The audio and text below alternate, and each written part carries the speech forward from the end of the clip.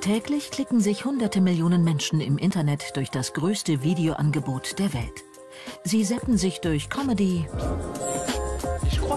Langsamer als meine Mutter tippt niemand auf einer Tastatur. Mehr oder weniger talentierte Musikdarbietungen. Videos von Katzen, die nur Blödsinn machen. Oder von selbsternannten Make-up-Beraterinnen. Make-up-Entferner, wo bist du? Hergestellt sind diese Filmchen meist von Amateuren. Pro Minute werden 300 Stunden Videomaterial aktueller und potenzieller Stars auf YouTube hochgeladen. Ist ihre Popularität Ausdruck echter Begeisterung oder auch Folge von Manipulation? Diese beiden 25 Jahre alten begabten Musiker aus Arcachon in Südwestfrankreich sind Internetstars. Zwar reicht so eine schnell aufgenommene Coverversion noch nicht, die Miete zu bezahlen, immerhin ist sie aber bereits 800.000 Mal gesehen worden und hat das Leben von Jeremy und Flo verändert. Sie dürfen jetzt ihre erste Single aufnehmen und auf Tournee gehen. Uns gibt es nur durch das Internet. Ohne das hätten wir nie professionell Musik gemacht, hätten uns nicht der Welt präsentieren können und würden immer noch zu Hause herumklimpern. Ohne die vielen Views hätte sich die Branche nie für uns interessiert. Die gehen ja kein Risiko mehr ein, denn sie wissen bereits, wir haben ein Publikum. Es gibt Leute, die uns hören wollen. Erst dann steigen die richtig ein. Aber wenn es dann klappt, haben wir vielleicht auch ein bisschen dazu beigetragen. Die Zahl ihrer Fans hat sich noch deutlich erhöht, seitdem sie in einer beliebten Fernsehcastingshow aufgetreten sind.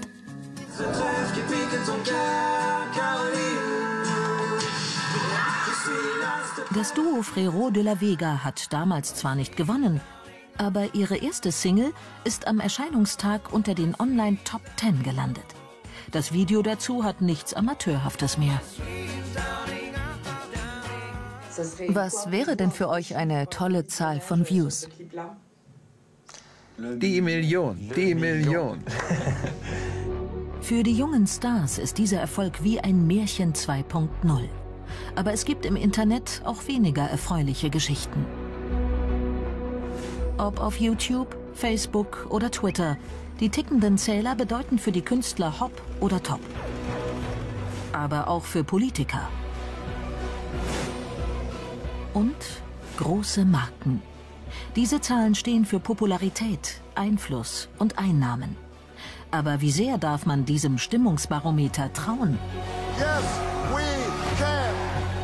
Hat der Papst wirklich vier Millionen Follower auf Twitter?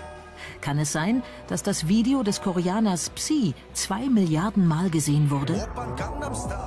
Können diese Zahlen manipuliert werden, um die öffentliche Meinung, die Wähler oder die Verbraucher zu täuschen? Kann man berühmt werden, indem man die sozialen Medien gezielt beeinflusst oder betrügt? Um das herauszufinden, machen wir ein Experiment. Binnen 48 Stunden trommeln wir eine Band zusammen, die es nur zum Schein geben wird. Und hier sind unsere vier begabten Komplizen. Florent, Lina, Lucas und Camille. Alles junge, noch unbekannte Schauspieler und Sänger in Paris.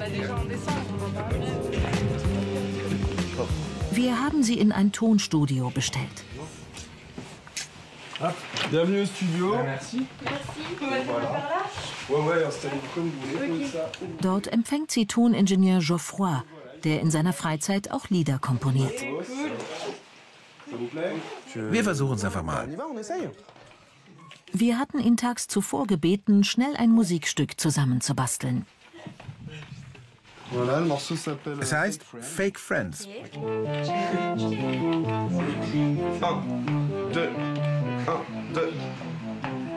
Hey man, you've got to move it. Your friends are fading away. Unsere falsche Band studiert den Text ein. Wir haben ihn selbst geschrieben, auf Englisch. Das fällt leichter, wenn man recht einfallslos ist.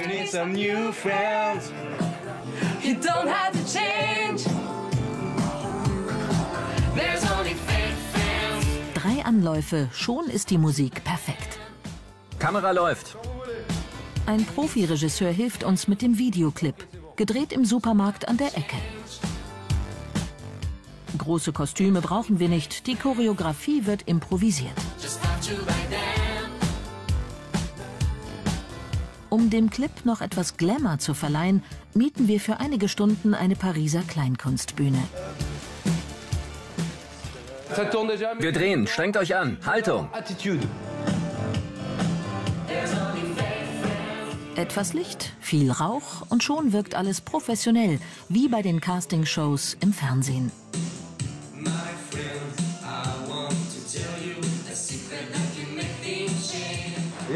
Alles im Kasten, danke. Jetzt fehlt unserer falschen Band nur noch ein echtes Bandfoto. Etwas näher. Und ein Name. Wir entscheiden uns für Like Us. Nun geht es an die Eigenwerbung für die Band im Internet. Einfach und kostenlos. Ein paar Klicks und der Clip ist bei YouTube hochgeladen.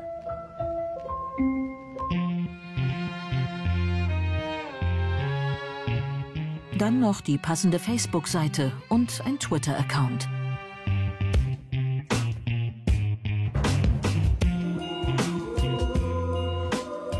Wir hoffen, dass die neue Band bald in aller Munde ist. Eine Woche später.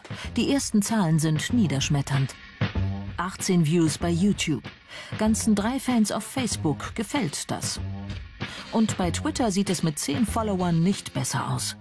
Like Us kennt immer noch kein Mensch.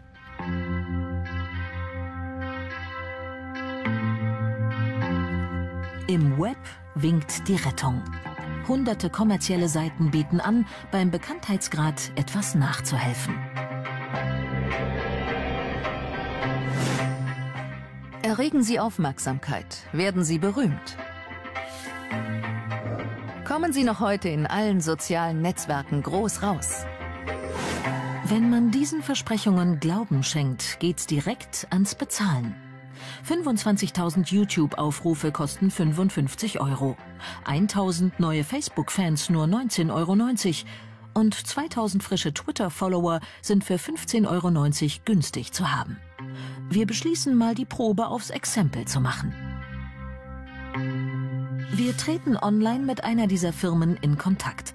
Be More Popular werden sie bekannter, verspricht schon ihr Name. Ein gewisser Tom versichert Erreichbarkeit rund um die Uhr. Hallo aus Frankreich. Das mit den 500.000 Views funktioniert? Ja, 500.000 oder auch eine Million. Sicher? Ich möchte eine Band promoten. Nicht, dass YouTube mich rauswirft. Unsere Views sind sicher.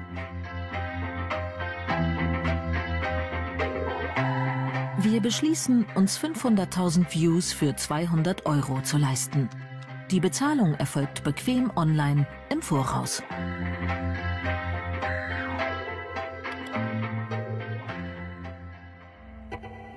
»72 Stunden später scheint der YouTube-Zähler bei unserem Clip fast verrückt zu spielen. Bereits über 220.000 Views. Und unsere Fans liefern Lobeshymnen im Minutentakt. Anscheinend sind es keine Franzosen, die da kurz, aber begeistert schreiben. Hier eine kleine Auswahl. Ich mag euch sehr. Oder Ihr seid toll. Eine gewisse Lilly Chiste verschreibt. Bin gespannt auf mehr von euch. Wer sind diese Bewunderer? Während unsere gekaufte Kampagne weiterläuft, nehmen wir eine dieser digitalen Marketingfirmen unter die Lupe – die mit dem Wunsch nach Berühmtheit gute Geschäfte macht. Ihr Name bedeutet Kauf dir Fans. Geleitet wird sie von Thibaut Trésière. Er ist Anfang 20. Im Büro der 2012 gegründeten Firma am Stadtrand von Paris arbeiten zehn Angestellte, die jeden Tag Bekanntheit verkaufen. An Einzelpersonen oder Unternehmen.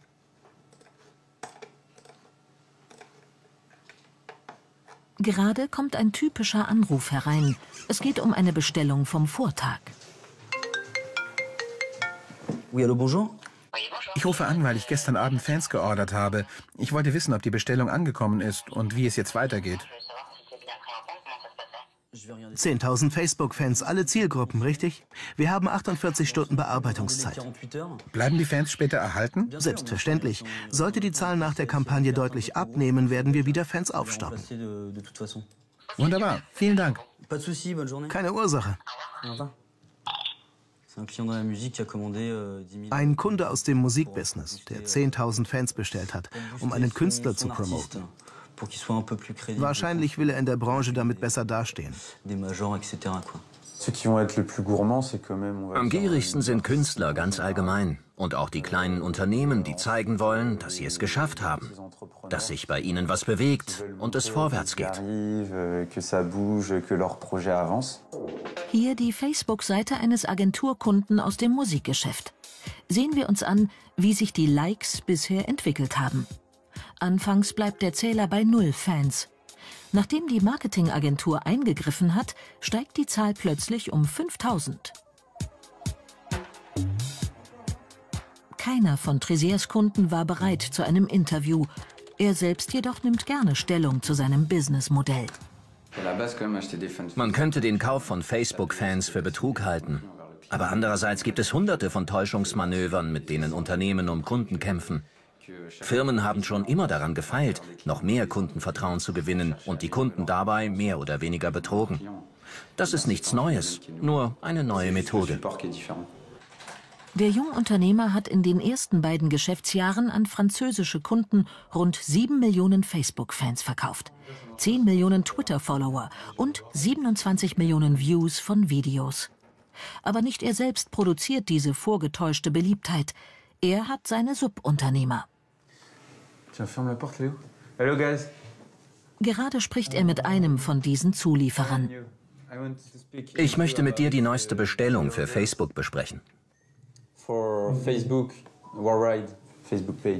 Er nennt sich Abdul und arbeitet von Pakistan aus. Kein Problem. Ich verschaffe dir die 10.000 Fans. Zurzeit dauert das maximal 24 Stunden.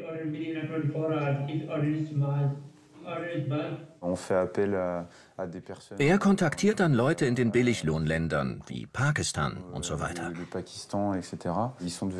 Die sind im Social Media Marketing ziemlich gut und weltweit stärker als wir. Wie bei allen Produkten des Massenkonsums wird auch die Fabrikation von Views, Fans und Followern ausgelagert. Doch erst noch einmal zurück zu unserer fiktiven Band Like Us.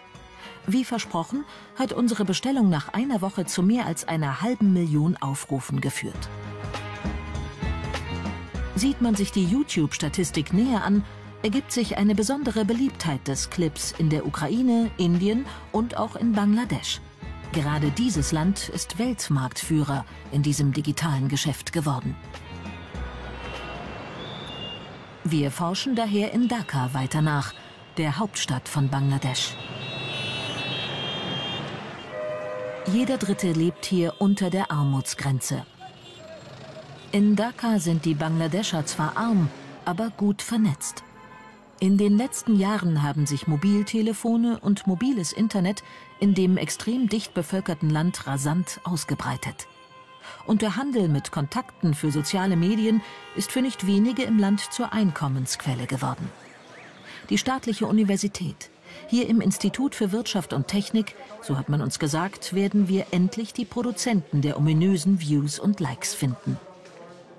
Im Informatikseminar wird, wie überall auf der Welt gelehrt, wie Software geschrieben und verändert wird.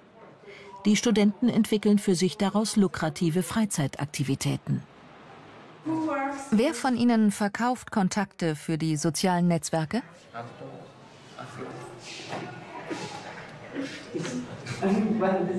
Die Hälfte der Kursteilnehmer finanziert damit ihr Studium. Unter ihnen Reus Ahmed, 23.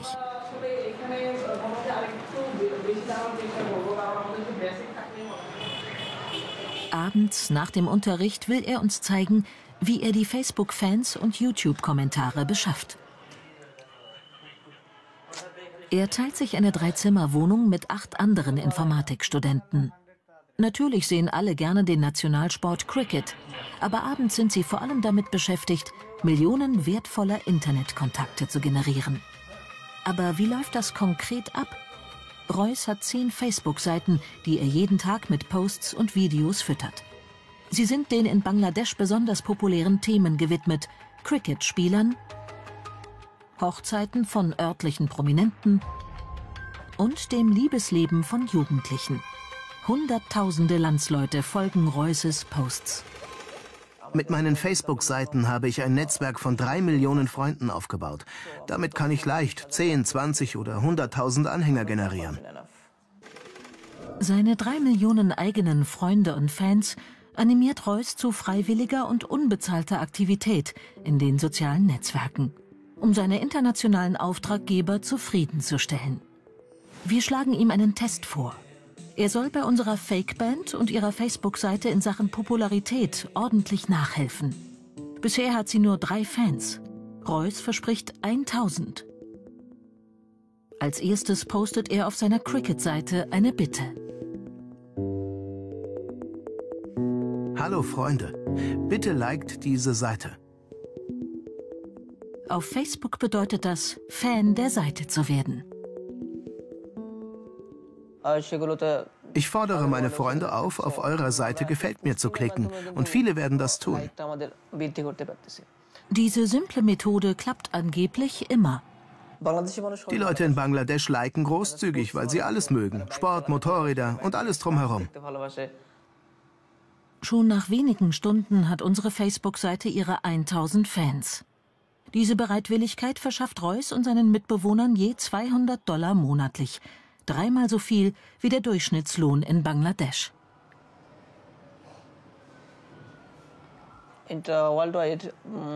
Derzeit habe ich neun ausländische Kunden. Ich arbeite rund um die Uhr für sie. Einige sind in den USA, andere in Großbritannien oder Australien. Darunter ein amerikanischer Händler für Motorradzubehör ein Immobilienmakler aus Maryland und ein Sportartikelhändler in den französischen Alpen. Der will wohl unbedingt bekannter werden. Ob seine Interessenten aus Bangladesch dort eines Tages Skier kaufen werden?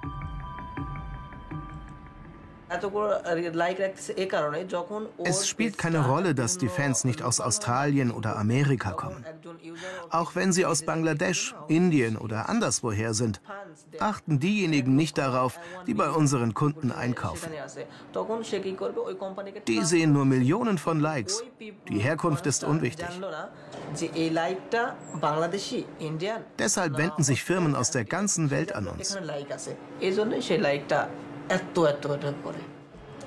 Reus verkauft 1000 Facebook-Fans für 10 Euro.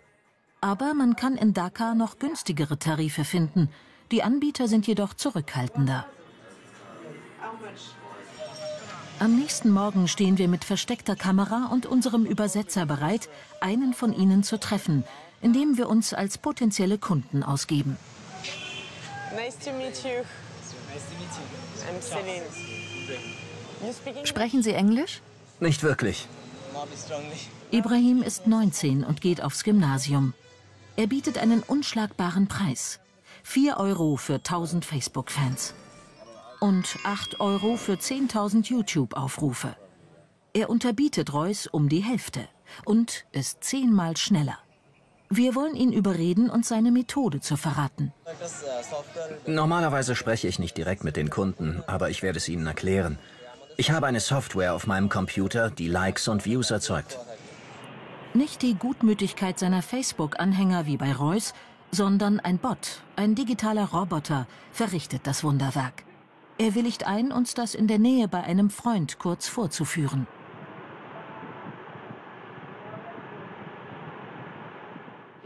Das ist euer YouTube-Clip, ja? Ich starte jetzt meine Software.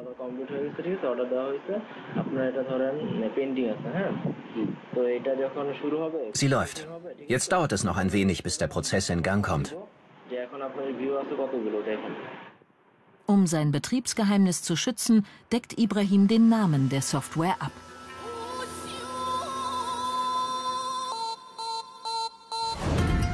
Das Prinzip ist einfach.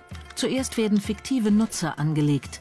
Diese klicken dann automatisch auf die Videos oder Buttons und generieren damit abertausende Male ein Gefällt mir oder einen Videoabruf. Wenn die sozialen Netzwerke ihren Programmcode ändern, kann meine Software schon mal ein paar Stunden blockiert werden. Aber zurzeit klappt es mit YouTube wunderbar und schnell. Mit einem Mausklick kann Ibrahim 10.000 vollkommen aus der Luft gegriffene Videoabrufe erzeugen. Diese Manipulationen sind in den Nutzungsbedingungen der sozialen Netzwerke ausdrücklich untersagt. Bei YouTube heißt es, Sie erklären sich damit einverstanden, keinerlei automatisches System, einschließlich jegliche Robots, einzusetzen.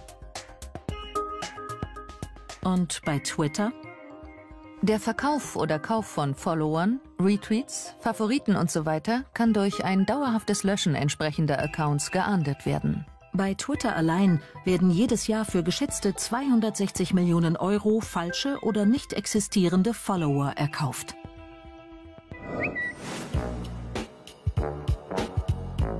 Gerade für Twitter begeistern sich viele Politiker. So sehr, dass manche sich damit einen Teil ihrer Popularität erkaufen wollen. Wir besuchen die Redaktion von Radio Europe 1 in Paris. 6h-9h, Thomas Soto sur Europe 1. Le journal de 6h, Hélène Zelani. Bonjour Hélène. Schon vor Jahren hat der Sender eine Website ins Leben gerufen, die das Verhalten französischer Politiker in den sozialen Netzwerken beobachtet. Thibaut Peserat ist einer der fünf Journalisten, die für die Website arbeiten. Jeden Tag durchkämmen sie die Facebook- und Twitter-Konten von Politikern. Wir scrollen uns den ganzen Tag durch die Tweets verschiedener Personen. So haben wir ständig ein Auge darauf, was auf Twitter passiert. Das Ziel? Scoops, also Sensationsmeldungen zu landen oder Ungereimtes zu finden, zugleich aber auch diejenigen zu entlarven, die ihre Anhängerzahlen künstlich aufblähen. An diesem Tag interessiert sich der Rechercheur für einen engen Berater des Staatspräsidenten François Hollande. Er heißt Fauzi Landawi. Sein Twitter-Account ist etwas suspekt. Ich habe mir seine Follower mal angesehen. Unter denen sind viele, die nicht Französisch sprechen, zumindest nicht in ihrem Profiltext. Das ist etwas merkwürdig bei einem Politiker, der außerhalb Frankreichs kaum bekannt ist. Zum Beispiel dieses Profil. Es passt so gar nicht zu dem, was man bei Interessenten von Lambda Oui erwarten würde. Bei genauerem Hinsehen entdeckt der Journalist, dass der Präsidentenberater im Januar 2014 schlagartig 40.000 neue Follower hinzubekommen hat. Sollte Fauzi Lamdawi sich diese tatsächlich gekauft haben, dann wohl um seinen Bekanntheitsgrad, seine Machtposition und seinen Rückhalt im Internet zu demonstrieren. Mein Eindruck ist, dass hier wirklich Follower gekauft wurden. Ich habe bei Lamdawi nachgefragt, er bestreitet es. Also steht seine Aussage gegen die Bots auf Twitter des robots sur Twitter. Auch wir haben den Präsidentenberater kontaktiert, aber er weigert sich, unsere Fragen zu beantworten. Auf welche Indizien können sich die Rechercheure von Europe 1 stützen? Schon 2012 sind sie einem ähnlichen Verdacht nachgegangen. Das war bei einer hochrangigen Politikerin, Nadine Morano. Ausgangspunkt? Dieses Diagramm über die Twitter-Follower der Ex-Ministerin ohne aktuellen Anlass nimmt die Anzahl Ende 2012 innerhalb von drei Tagen um 50 Prozent zu. Sie hat alle Manipulationen bestritten. Eine Woche später lag die Zahl wieder auf dem vorherigen Niveau. Aber auch im Showbusiness gibt es immer wieder solche Verdachtsmomente.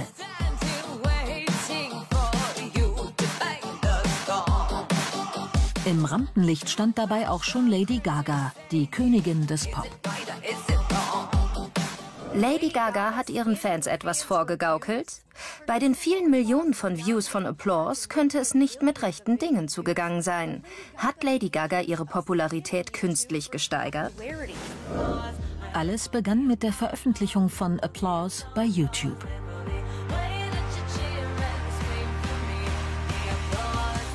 Eine Woche später war der Clip schon über 14 Millionen Mal abgerufen worden. Ein großer Erfolg, aber trotzdem zwei Millionen weniger als der neue Clip ihrer Konkurrentin Katy Perry mit 16 Millionen. Hat sich Lady Gaga schwer damit getan, diesen Abstand hinzunehmen? Jedenfalls haben die Fans einige Tage später eine merkwürdige Aufforderung erhalten. In New York treffen wir den 19-jährigen Mark Cohn. Er studiert Musiktheater.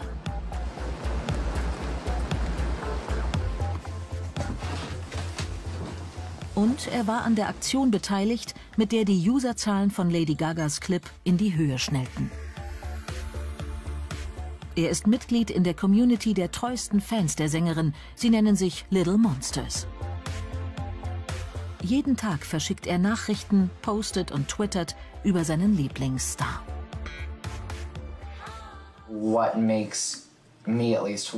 Ich engagiere mich für sie und unterstütze sie weil sie uns so viel gibt.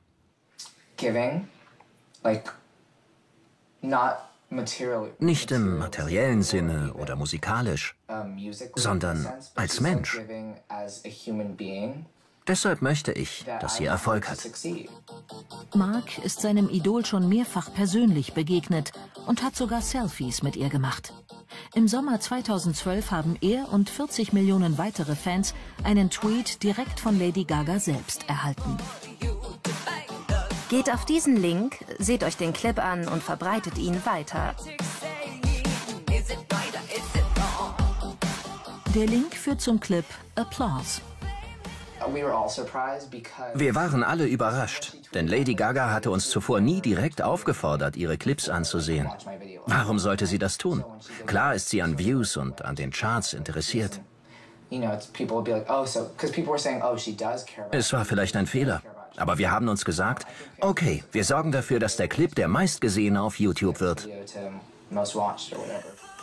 Auf den ersten Blick ist daran nichts Verwerfliches. Doch der Link ist manipuliert. Wenn man darauf klickt, spielt der Clip nicht einmal, sondern 150 Mal ab. Sechs Stunden lang in Schleife.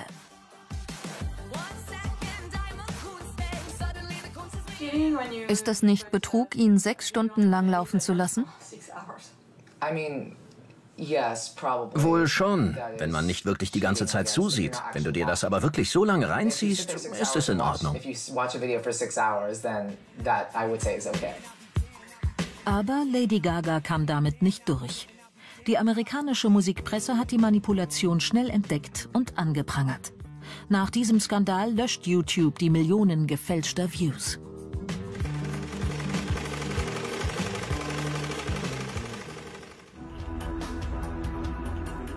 Kehren wir nach Frankreich zurück, zu der Firma, die mit Facebook-Fans und Views Handel treibt. Auch nach zwei Jahren fühlt sich Thibaut Trésière ziemlich sicher bei dem, was er macht. Er habe seine Methoden, sich der Überwachung durch die Internetgiganten zu entziehen. Oberste Regel, baue nie mehr als 30 Prozent Fakes ein.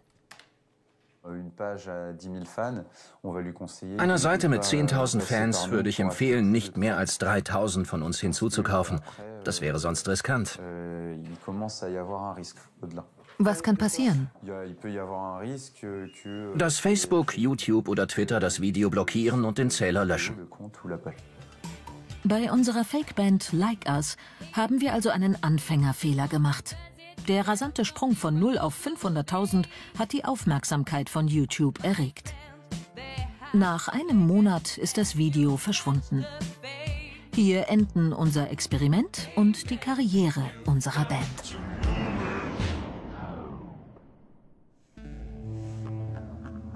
Im Internet kann man also die Zähler beeinflussen oder auch die Inhalte manipulieren, um die Verbraucher zu täuschen. Diverse Markenhersteller nutzen dies und benutzen so die kleinen Stars aus dem Web für ihre eigenen Zwecke. Auf YouTube hat es schon so manche schillernde Figur zu beachtlicher Popularität gebracht. Man nennt sie YouTuberinnen. Sie betreiben Videoblogs mit Ratschlägen und Empfehlungen für Frisuren, Make-up und Klamotten. Beginnen wir mit einem neuen Make-up-Entferner, den ich seit zwei Wochen teste. Diese Amateurvideos haben einen enormen Einfluss auf das Kaufverhalten. Einer von drei Käufern sieht sich heutzutage vor der Einkaufstour in den einschlägigen Blogs um. Aber hinter der Maske hübscher Gesichter verbergen sich oft mächtige Marken.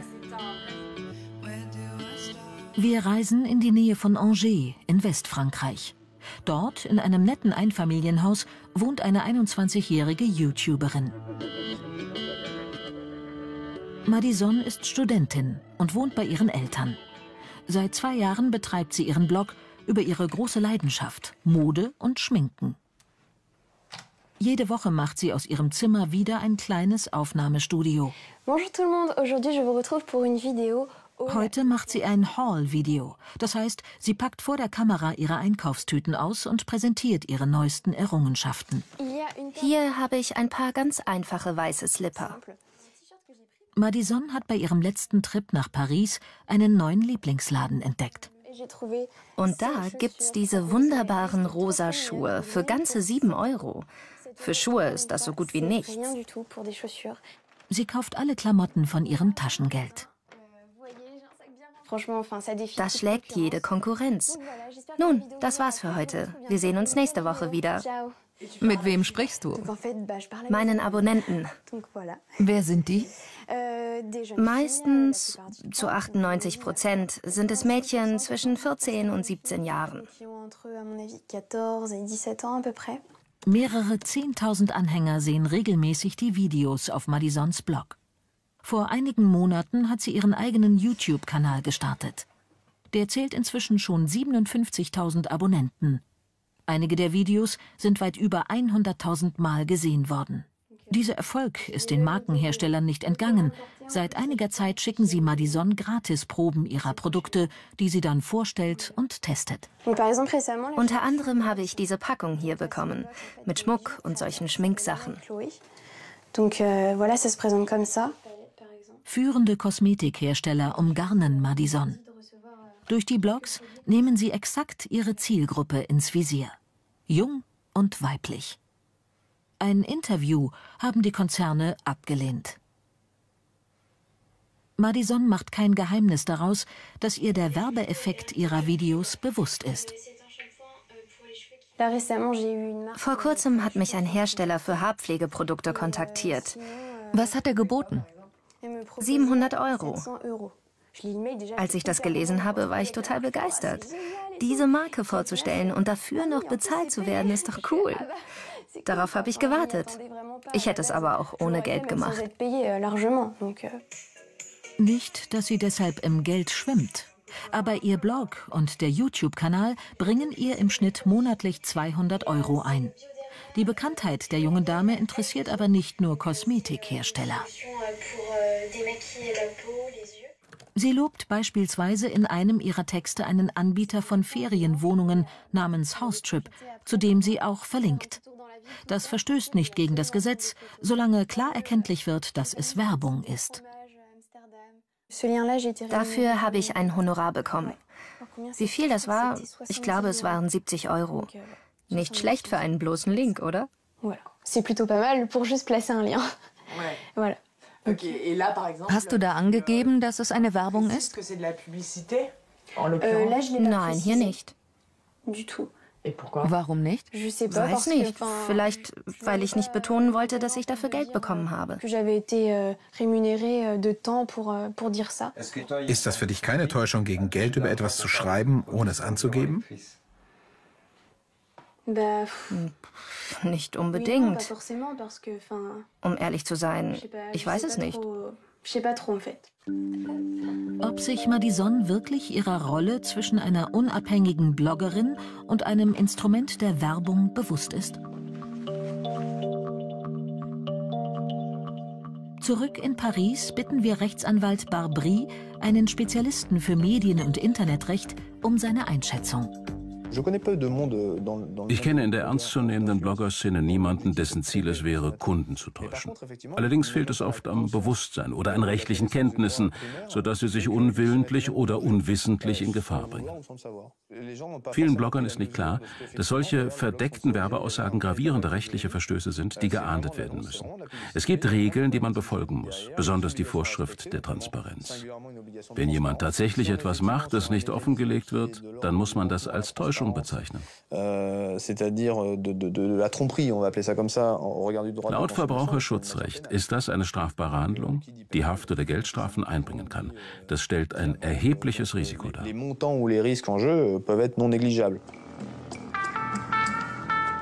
Es gibt Blogger, die wohl nicht besonders viele Gedanken daran verschwenden. Aber auch Markenhersteller, die gerade dazu auffordern, die Leser zu täuschen. Solch eine unangenehme Erfahrung hat Marie vor kurzem gemacht. Sie ist Lehrerin in Metz und unterhält seit vier Jahren einen Blog von Müttern für Mütter. Darin bewertet sie Windeln, Kinderwagen, Fläschchen. Etwa 2000 Eltern folgen dem Blog pro Tag. Hin und wieder veröffentlicht Marie Artikel über Markenprodukte, die sie als gesponserte Texte kenntlich macht. Je nach Länge des Texts verlangt sie dafür zwischen 50 und 500 Euro. Euh, Hier ist zum Beispiel ein Artikel von mir über Urlaub mit kleinen Kindern in Ferienclubs. Euh,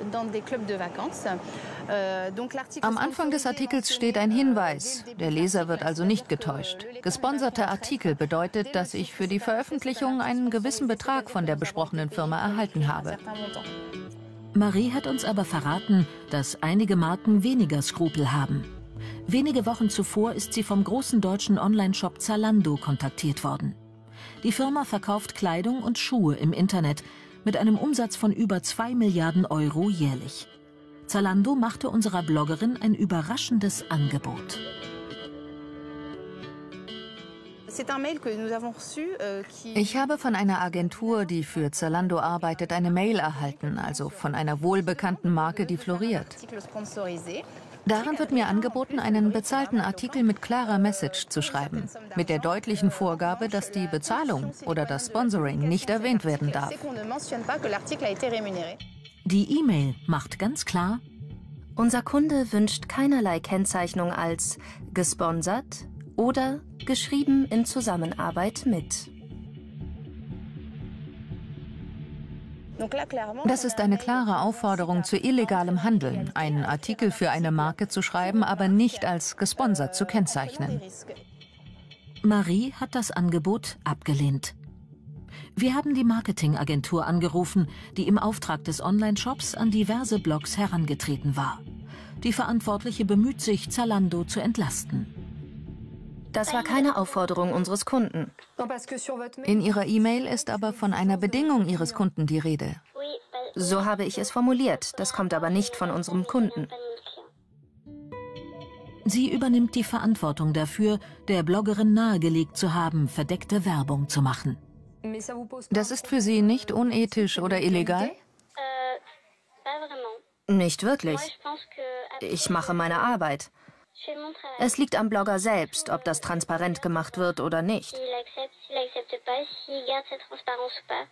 Sie wissen aber, ohne Hinweis ist das illegal. Ja, unter Umständen. Sie fordern also von der Bloggerin etwas Illegales. Könnte man so sagen. Und das ist kein Problem für Sie? Nein, weil ich in 90 Prozent der Fälle damit Erfolg habe. Die Blogger nehmen es anscheinend nicht so genau.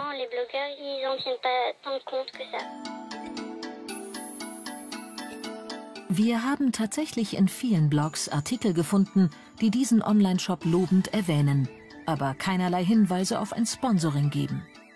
Zalando selbst wollte dazu jedoch keine Stellung nehmen. Einige Unternehmen zögern nicht, noch weiter zu gehen. Sie benutzen das Internet, um ihre Gegner in Verruf zu bringen.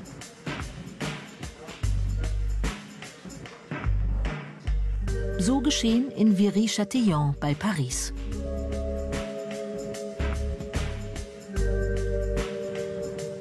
Das Opfer der Lokalpolitiker Gabriel Amar und sein Renommierprojekt, ein neues Werk für die Trinkwasserversorgung.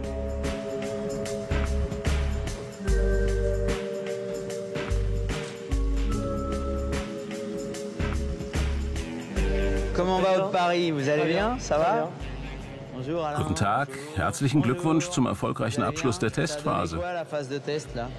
In wenigen Tagen soll das Werk vier Gemeinden der Region mit Wasser versorgen. Zuvor hatte ein Privatunternehmen diese Dienste geleistet. Bei Baubeginn vor drei Jahren waren ein Blog und ein Twitter-Account dazu aufgetaucht, betrieben von einem mysteriösen Einwohner aus Viry-Châtillon, der angeblich vom Virus der Ökologie befallen ist. In seinen Wortmeldungen behauptet er, dass Gabriel Amars Projekt die Gesundheit der Ortsbewohner gefährde.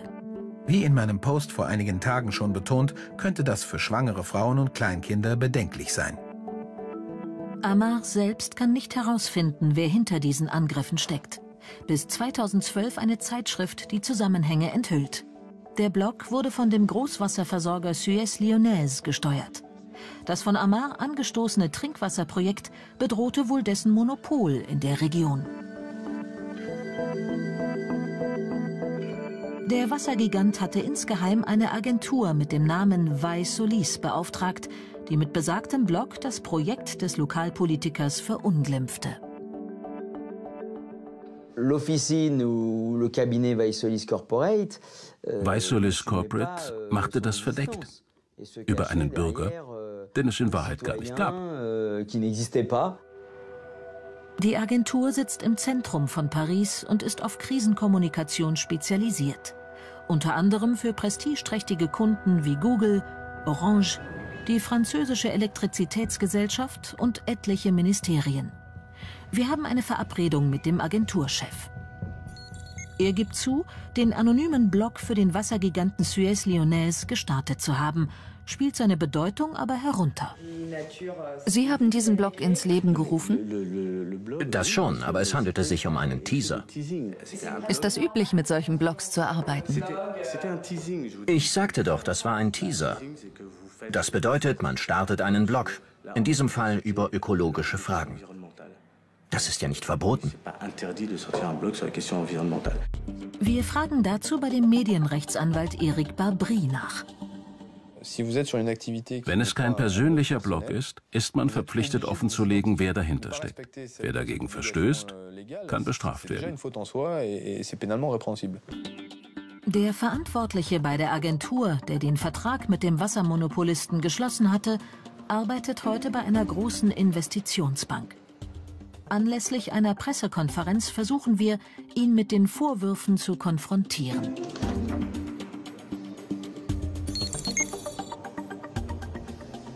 Der Vertrag, den Sie für Vaes Solis abgeschlossen haben, da gab es doch die Geschichte mit diesem Blogger.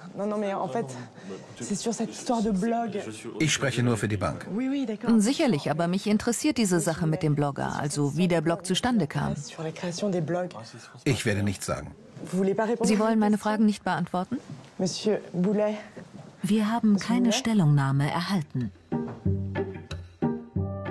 Auch der Wasserversorger Suez Lyonnaise wollte uns kein Interview geben. Inzwischen geht der Politiker Gabriel Amar gerichtlich gegen die Agentur vor. Wegen Täuschung der Öffentlichkeit und unerlaubter Einflussnahme. Die Agentur beschuldigt ihrerseits Amar der üblen Nachrede. Für normale Internetsurfer ist es sehr schwierig, die Manipulationen zu erkennen, die sich im Dschungel der Blogs und der sozialen Netzwerke verbergen. Sicher ist nur eines. Während diese Dokumentation läuft, werden über 1200 Stunden neue Videos auf YouTube hochgeladen und 130 Millionen Mal wird Gefällt mir auf Facebook geklickt.